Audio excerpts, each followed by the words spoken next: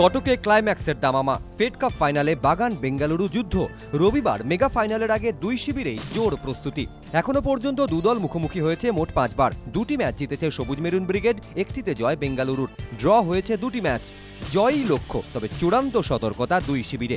এদিন পুরোপুরি ক্লোজড ডোর প্র্যাকটিস বাগিচা শহরের দলের। তবে সবুজ মেরুন প্র্যাকটিস দেখা নিয়ে অবশ্য কোনো বিধিনিষেধ ছিল না। তবে শেষ পনেরো মিনিট চলল পেনাল্টি শুট আউট পুরোপুরি ক্লোজড ডোর জয়ের জন্য মরিয়া গতবারের চ্যাম্পিয়নরা। জয় ছাড়া অন্য কিছু ভাবছেন না বাগানের head sir.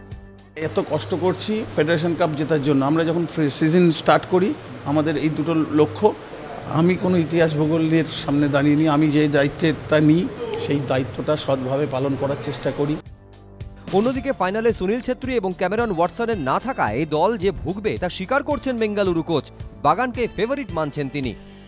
More favorite uh, Mohan Bagan have lost uh, one of uh, two players for tomorrow that they are important in our in our first 11 that Cameron and Sunil so it seems yeah that uh, they can be a little bit more favorite than us এই মরশুমে দুই দলই ট্রফিহীন মরশুমের শেষ tournament সামনে ভারত সেরার হাতছানি স্বপ্নপূরণ হবে কি বাঙালি ফুটবল প্রেমীদের স্বপ্নের রং সবুজ মেরুন মরশুমে ট্রফিহীন থেকে একটা ট্রফি জয়ের জন্য ফেডারেশন কাপই মূল লক্ষ্য দুই দলের কাছে বাগান বনাম বাগিচা শহরের লড়াইয়ে এখন ধুন্ধুমার কটকের Barabati stadium.